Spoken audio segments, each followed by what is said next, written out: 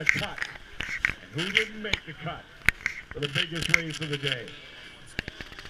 Well, here you're not going to surprise me anymore. No more surprise. I, Gavin's been uh, the sailor but Brent Miller on the vintage has been winning. Will be the one here in 311. Gavin triple seven. The modified chassis fan cool that kicked out a lot of ponies. Watch the whole shot of 311.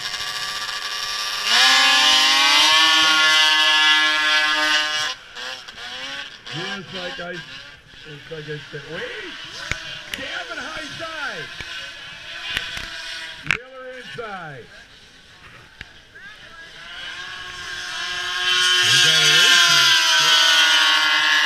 Well, Miller spent Gavin earlier today, but thought it was kind of a fluke. We'll see here. Miller in the lead.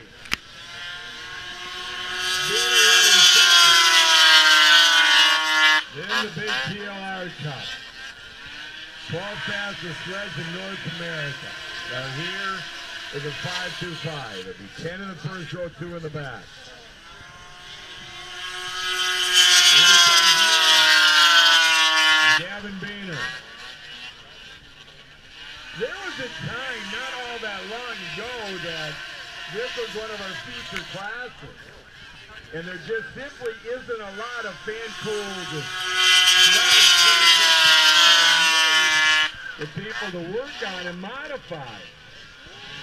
Man, you're going down to 500s and smaller engines that are liquid. Look at Gavin